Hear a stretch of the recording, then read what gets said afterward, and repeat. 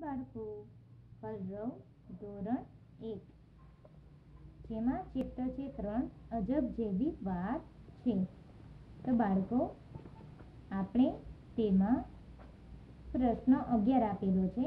ખૂટતા અક્ષરો લખો.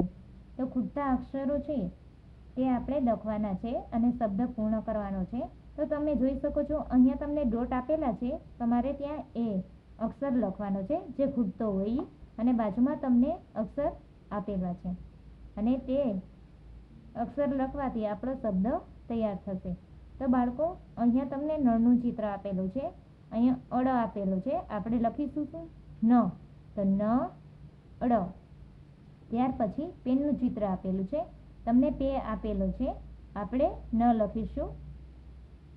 એટલે શબ્દ તૈયાર થશે પે ન. ત્યાર પછી ભમરડાનું ચિત્ર આપેલું છે. ભ, ર અને ડો આપેલો છે. આપણે મ લખીશું. એટલે શબ્દ તૈયાર થશે. ભ મ ર, ડો. પતંગ આપેલો છે. આપણે પ અને ત લખેલ આપેલું છે. આપણે ગ લખીશું. એટલે શબ્દ તૈયાર થશે. પ તંગ ગ. ત્યાર પછી ગાજરનું ચિત્ર આપેલું છે. તો આપણે જ, ર આપેલું છે. લખીશું ગા. એટલે શબ્દ તૈયાર થશે ગા, ચ, ર. ત્યાર પછી તમને જામફળનું ચિત્ર આપેલું છે. તો આપણે મ પ ડ આપેલું છે. આપણે જા લખીશું. એટલે શબ્દ તૈયાર થશે જા મ પ અડ તો બાળકો, આ રીતે તમારે ખૂટતા અક્ષર મૂકવાના છે. ત્યાર પછી છે પ્રશ્ન બાર. જોડકા, જોડો. તો બાળકો, તમારે જોડકા જોડવાના છે. અહીંયા પહેલાં આપેલું છે દાંત. તો દાંત આપેલા છે. તો દાંત આપણે બ્રશ વડે સાફ કરીએ છીએ. હા, તો તેની સાથે આપણે સ્કેલની મદદથી જોઈન્ટ કરવાનું છે. ત્યાર પછી નાક. તો નાક આપણે નાકને લૂછવા માટે અથવા સાફ કરવા માટે શેનો ઉપયોગ કરીએ છીએ? તો રૂમાલનો. તો આપણે તેની સાથે આપણે જોઈન્ટ કરીશું સ્કેલની મદદથી. ત્યાર પછી તમારા આંગળા. આંગળીઓના નખ વધી જાય. તો ત્યારે તમે શેનો ઉપયોગ કરો છો? નેન કટરનો. તો તેની સાથે આપણે જોઈન્ટ કરીશું. ત્યાર પછી હાથ ધોવા આપણે શેનો ઉપયોગ કરીએ છીએ? સાબુનો.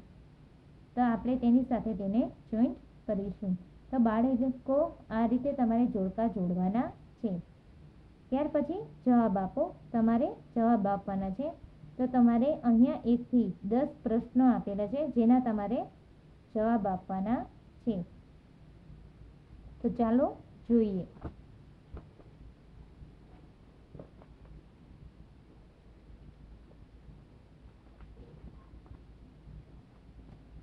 પ્રશ્ન બાર, જવાબ આપો. પેલું, તમે દાંત કેવી રીતે સાફ કરો છો? તો અમે દાંત બ્રશ વડે સાફ કરીએ છીએ. બીજું, આપણને નખ કેમ કાપવા જોઈએ? કારણ કે નખમાં રહેલ જમ્સ અથવા કીટાણુ કે મેલ નખ દ્વારા આપણા પેટમાં જાય અને આપણે માંદા પડીએ, તેથી આપણે નખ કાપવા જોઈએ. ત્રીજું, આપણે ક્યારે ક્યારે હાથ ધોવા જોઈએ? આપણે જમતા પહેલાં અને રમ્યા પછી હાથ ધોવા જોઈએ. ચોથું, છીંક ખાતી વખતે મોં આડે રૂમાલ કેમ રાખવો જોઈએ? તો છીંક ખાતી વખતે મોં આડો રૂમાલ રાખવાથી છીંક ખાતા જે જમ્સ છે તે રૂમાલમાં જ રહી જાય તેટલા માટે આપણે મોં આડો રૂમાલ રાખવો જોઈએ. પાંચમું, ધોયેલા કપડાં પહેરવાથી શું ફાયદો થાય છે? તો ધોયેલા કપડાં પહેરવાથી રોગ ન થાય. છઠ્ઠું, શરીર ગંદુ કેવી રીતે થાય? તો જ્યારે આપણે ધૂળમાં રમીએ તેમજ ખુલ્લા મેદાનમાં રમીએ ત્યારે શરીર ગંદુ થાય છે. પ્રશ્ન સાત, ઘરનો કચરો ક્યાં નાખવો જોઈએ? તો ઘરનો કચરો કચરા પેટીમાં નાખવો જોઈએ. આઠમું, આપણું ઘર કોણ સ્વચ્છ રાખે છે? તો આપણું ઘર આપણા મમ્મી સ્વચ્છ રાખે છે. નવમું, ઘર અને ગામને ચોખ્ખું રાખવા શું કરવું જોઈએ? તો ઘર અને ગામને ચોખ્ખું રાખવા કચરો કચરા પેટીમાં જ નાખવો જોઈએ. દસમું, તમે કચરા પેટી ક્યાં ક્યાં જોઈ છે? તો અમે કચરા પેટી બગીચામાં, હોસ્પિટલ અથવા દવાખાનામાં, શાળામાં, રસ્તાની બંને બાજુએ અને અન્ય જાહેર સ્થળોએ કે જ્યાં જોવા મળે છે. તો બાળકો, આ રીતે તમારે પ્રશ્નના જવાબ મેળવ્યા.